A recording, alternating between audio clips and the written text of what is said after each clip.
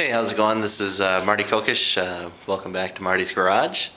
And uh, just going to give you a little update on where the MG's at and stuff. But uh, it's, uh, you can see my breath, it's, it's pretty cold out here in Minnesota. Um, uh, these last couple days haven't been too bad, so I've been able to get some work done. But it's going slow, and I'd rather be warm in my house than out here working on the car when it when it gets bad like this. But uh, yeah, I'll just show you a few things.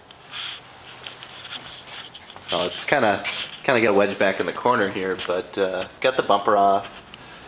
I've uh, taken the trunk uh, trunk out or the boot and uh, took that down to my brother. He's gonna be uh, stripping it down and and uh, priming it and stuff.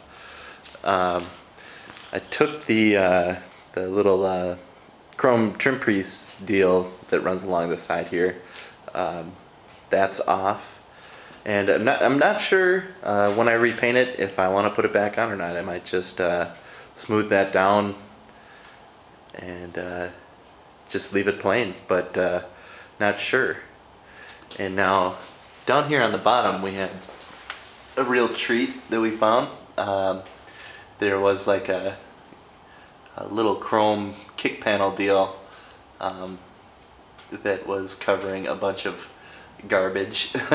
the the other side isn't really um, uh, isn't as bad as this. This is it's pretty nasty. So, and as far as that fender right there, I don't know. I might just try to get a uh, get a used one off eBay or something like that. Um, might be easier than trying to uh, rebuild that. Uh, kind of taking some of the interior out. Um, you can see the got the door. The doors are kind of apart. Um, uh, these uh, some of the interior panels in here and stuff I've removed. Um, here's one thing I ran into that kind of kind of ended up being a pain in the ass. These uh, uh, let me grab a light. Uh,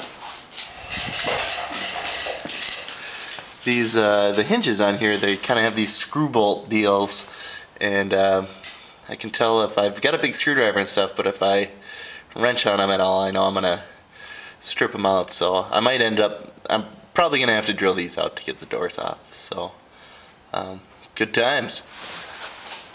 Uh, and then as far as the en engine goes, we haven't pulled it yet.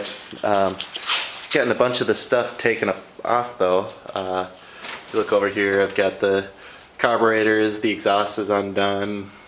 Uh, got the radiator out and stuff. Pulled the grill off. Uh, headlights are not there anymore. But I don't know, slow but sure. Uh, it's coming along. I don't know. Thanks, thanks for watching, and uh,